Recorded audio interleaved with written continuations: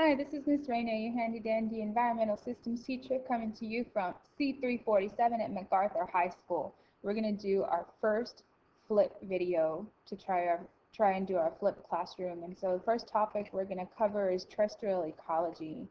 Um, terrestrial ecology is all about the transfer of energy. And so today this is a major outline of, of what our ideas are going to look like.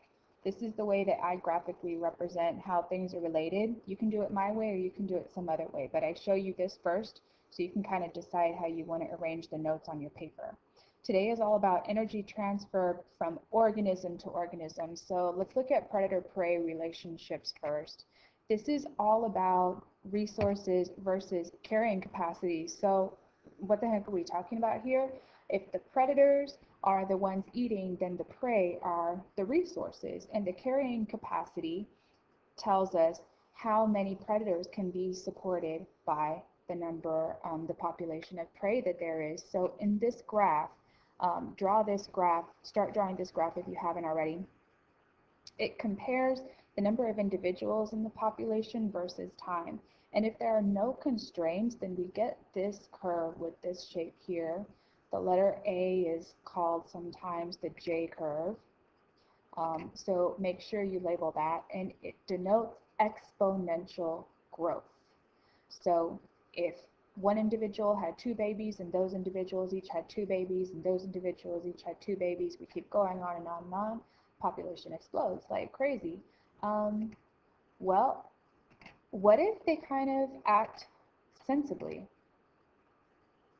Um, and if they knew that their limit was only so much, then you would get something modeled after this curve right here. We can label that the S curve, but it's not real. Nothing really lives like that. Um, if growth were just by one component, you know, like one discrete amount um, over time, then we'd end up with linear growth, but nobody really has babies like that. Normally, what happens in a population is they'll go nuts having babies until they kind of ran out of resources. And then, hey, what happened? There's too many babies. And so everybody starts dying. We start dipping below the kind of capacity for that population. Um, hey, once we're below, it starts to look like we got enough resources again. Then we start going up above the line, below the line. And really, there's no such thing as a balance in nature. There is a constant dynamic, so constant adjusting and readjusting. If you haven't already, label this curve J curve, label this curve S curve, label this one linear growth, and this one is going to be more like real life. Okay, so let's move on to symbiosis. Let's tackle mutualism first. And mutualism is a win-win relationship where two species interact in a way that benefits both of them. Um, have some examples here. So you can think about how the oxpecker and the black rhino might benefit each other. The oxpecker gets to eat all kinds of little parasites that would otherwise bother the black rhino a lot. They get a meal, they get cleaned of parasites. Um, you can think of all, all kinds of different mutualistic interactions. Main thing here, they increase biodiversity. So here's the clownfish and the anemone, and you guys know the coral reef is crazy diverse. Um, parasitism is the next interaction. It means that one species feeds on another species. This could decrease the population size in a community, but hey, look at it another way some populations in a community, quote unquote, need controlling, otherwise they kind of go out of whack. All right, there's an example of commensalism where one species has little or no effect on the other. Um, there's an example of bromeliad growing out of the bark of a tree. It doesn't really bother the tree, but helps the bromeliad. It has a nice safe place to live that's way up high off the forest floor. In addition to that, hey, look, um, there's nice little spaces there for tree frogs to lay their eggs. So if you haven't already, write this down. Helps one species, but it has little or no effect on the other. Keep in mind you can pause this video at any time to finish writing. So, hey look, new habitat for tree frogs. Commensalism can increase biodiversity. Make sure you make note of that as well.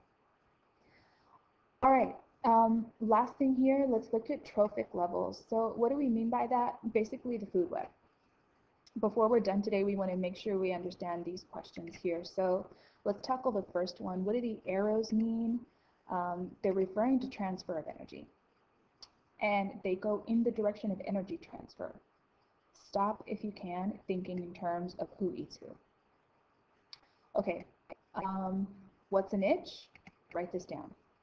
College definition is it's the multidimensional volume of resource axes.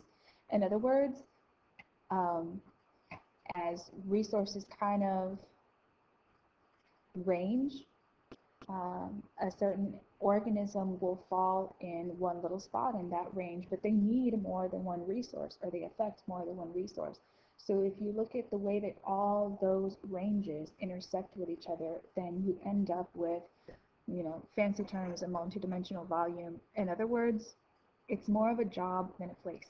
So a niche is not really an, an animal's physical home or an organism's physical home. It's more like the resource, the resources that they take up or the resources that they affect, and they'll only fall within a certain range. Okay, how much energy do you think that organisms get to keep at each stage? Well, the energy gets lost.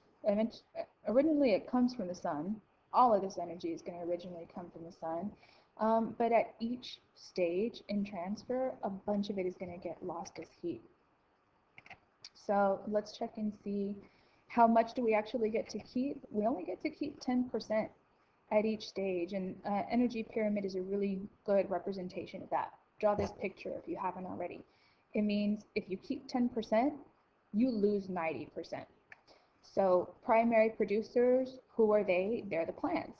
They get the energy from the sun, they produce the food for everybody else. They are the only ones who don't have to eat. Everybody else is a consumer. What are the primary consumers? They are the plant eaters, otherwise known as herbivores. Secondary consumers, yeah, they might be herbivore. I'm sorry, they might eat plants as well, um, but they're definitely going to have to eat animals. So they could be carnivores. They could also be you might have guessed it, omnivores as well. Tertiary consumers are usually the big time predators, meaning, look, there are very few of them. In order to support a really small population of top predators, you need a really big population of primary producers. If you are a primary consumer, you are the most energy efficient because you have only lost one set of energy transfer.